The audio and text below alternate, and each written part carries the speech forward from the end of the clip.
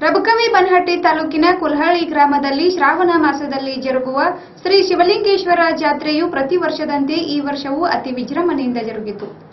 ರಬಕವಿ ಬನಹಟ್ಟಿ ತಾಲೂಕಿನ ಕುಲಹಳ್ಳಿ ಗ್ರಾಮದಲ್ಲಿ ಶ್ರೀ ಶಿವಲಿಂಗೇಶ್ವರ ಜಾತ್ರೆಯು ಪ್ರತಿ ವರ್ಷದಂತೆ ಈ ವರ್ಷವೂ ಅತಿ ವಿಜೃಂಭಣೆಯಿಂದ ಜರುಗಿತು. ಕೃಷ್ಣೆಯ ಮಡಿಲಲ್ಲಿ ಶೋಭಿಸುತ್ತಿರುವ ರಬಕವಿ ಬನಹಟ್ಟಿ ತಾಲೂಕಿನ ಕುಲಹಳ್ಳಿ ಗ್ರಾಮದ ಜನರನ್ನು ಉದ್ಧಾರ ಮಾಡಲು ಬಂದ ಶ್ರೀ ಶಿವಲಿಂಗೇಶ್ವರನ ಜಾತ್ರೆಯು ಪ್ರತಿ ವರ್ಷ ಶ್ರಾವಣ ಮಾಸದ ಕೊನೆಯ ಸೋಮವಾರದಂದು ಜರುಗುತ್ತದೆ. ಬೆಳಗ್ಗೆ ಭಕ್ತಾದಿಗಳು ಸಾಗರದಂತೆ ಆಗಮಿಸಿ ಪೂಜಾ ವಿಧಿವಿಧಾನಗಳಿಂದ ಶಿವಲಿಂಗೇಶ್ವರನಿಗೆ ಮಹಾ ಅಭಿಷೇಕ ಮಾಡುತ್ತಾರೆ. ಮಧ್ಯರಾತ್ರಿ ಹನ್ನೆರಡು ಗಂಟೆಯಿಂದ ಹರಕೆ ಹೊತ್ತ ಭಕ್ತರು ಉರುಳು ಸೇವೆ ಸಲ್ಲಿಸುತ್ತಾರೆ. ಗ್ರಾಮದ ಮುತ್ತೈದೆಯರಿಂದ ರಥೋತ್ಸವಕ್ಕೆ ಉಡಿ ತುಂಬುವ ಕಾರ್ಯಕ್ರಮ ಜರುಗಿತು. ಸಂಜೆ ನಾಲ್ಕು ಗಂಟೆಗೆ ಸುತ್ತಮುತ್ತಲಿನ ಗ್ರಾಮಗಳ ಪಲ್ಲಕ್ಕಿಗಳು ನದಿ ದಡದಲ್ಲಿ ಸೇರಿ ನದಿಗೆ ಪೂಜೆ ಸಲ್ಲಿಸಿ ನದಿಯಿಂದ ದೇವಸ್ಥಾನದವರೆಗೆ ಪಲ್ಲಕ್ಕಿ ಉತ್ಸವ ಜರುಗಿತು. ರಥೋತ್ಸವಕ್ಕೆ ಗ್ರಾಮದ ಮುಖಂಡರೆಲ್ಲರೂ ಸೇರಿ ಚಾಲನೆ ನೀಡಿದರು. ಭಕ್ತಾದಿಗಳ ಜಯಘೋಷಗಳ ಮಧ್ಯೆ ಸಡಗರ ಸಂಭ್ರಮದಿಂದ ರಥೋತ್ಸವ ಜರುಗಿತು. ಈ ಗ್ರಾಮದ ವಿಶೇಷವೆಂದರೆ ಹನ್ನೆರಡನೇ ಶತಮಾನದಿಂದಲೂ ರೂಢಿಯಲ್ಲಿ ಬಂದಿರುವ ಅಗ್ನಿಕುಂಡ ದಹನ ಇದು ಇಪ್ಪತ್ನಾಲ್ಕು ಗಂಟೆಗಳ ಕಾಲ ಸತತವಾಗಿ ಉರಿಯುತ್ತದೆ. ಈ ಗ್ರಾಮದಲ್ಲಿ ಯಾವುದೇ ಮನೆಗಳು ದೇವಾಲಯಕ್ಕಿಂತ ಎತ್ತರವಾಗಿಲ್ಲ.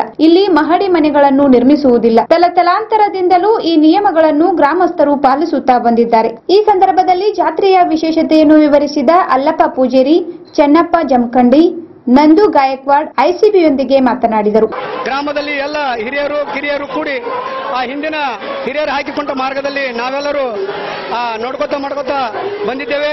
ಇನ್ನುಳಿದ ನಮ್ಮ ಶಿವಲಿಂಗೇಶ್ವರ ಅಕ್ಕಿನಗುಡಿಯು ಬಹಳ ಹನ್ನೆರಡನೇ ಶತಮಾನದಿಂದ ಹಿಡಿದ ಇಪ್ಪತ್ನಾಲ್ಕು ತಾಸು ಗಂಟೆ ಆ ಅಕ್ಕಿ ಉರಿತಾ ಇದೆ. ಅದನ್ನು ಹಿಂದಿನ ಹನ್ನೆರಡನೇ ಶತಮಾನದಲ್ಲಿ ಹಿಡಿದುಕೊಂಡು ಇಲ್ಲಿವರೆಗೂ ಇನ್ನಾದ್ರೂ ಆ ಅಗ್ನಿ ಆರಿ ಹಾರಿ ಆರಿ ಗುಡಿಸಲ್ಲ ಎಲ್ಲರೂ ಸೇವಕರಾಗಲಿ, ಊರಿನ ಹಿರಿಯರಾಗಲಿ, ಎಲ್ಲರೂ ಶ್ರೀ ಶಿವಲಿಂಗೇಶ್ವರನಲ್ಲಿ ನಂಬಿಕೆ ಇಟ್ಟದ್ದು, ನಾವು ಏನು ಮಾಡ್ತು, ಆ ಕೆಲಸ ಶಿವಲಿಂಗೇಶ್ವರ ನಮಗೆ ಒಳ್ಳೆಯದನ್ನು ಮಾಡ್ಕೊತಾ ಬಂದಿದ್ದಾನೆ. ನಮ್ಮಲ್ಲಿ ಪ್ರತಿಯೊಬ್ಬ ಮಗು ಹಿಡ್ಕೊಂಡು ಮುದುಕಿರ್ತಕ್ಕ ಅಪಾರವಾದ ಭಕ್ತಿ, ಅಪಾರವಾದ ಅಭಿಮಾನ, ಅಪಾರವಾದ ಪ್ರೀತಿ.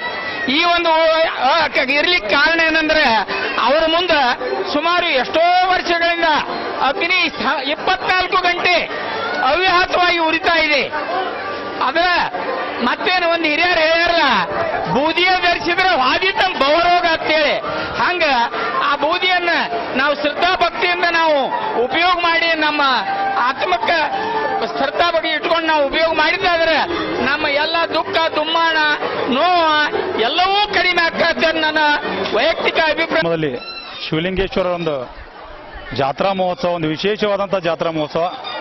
ಬಹುಶಃ ಉತ್ತರ ಕರ್ನಾಟಕದಲ್ಲಿ ಒಂದು ಪ್ರಭಾವ ಬೀರುವಂಥ ಒಂದು ದೇವಸ್ಥಾನ.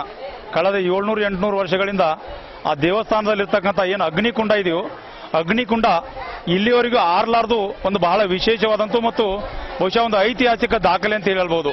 ಮತ್ತು ಇನ್ನೊಂದು ಈ ಊರಿನ ಪರಂಪರೆ ಅಂತಂದ್ರೆ ಯಾರ್ಯಾರು ಈ ಈ ಊರಿನಲ್ಲಿದ್ದಂಥ ಹೆಣ್ಮಕ್ಳು ಬೇರೆ ಬೇರೆ ಮನೆಗಳಿಗೆ ಮದುವೆ ಆಗಿ ಹೋಗಿರ್ತಾರಂಥವ್ರೆಲ್ಲರೂ ಆ ಜಾತ್ರೆಯ ದಿನ ಬಂದು ಆ ಜಾತ್ರೆಯಲ್ಲಿ ಪಾಲ್ಗೊಂಡು ಆ ಜಾತ್ರೆಗೆ ಮತ್ತಷ್ಟು ಮೆರಗು ಕೊಡುವಂಥದ್ದು ಒಂದು ವಿಶೇಷ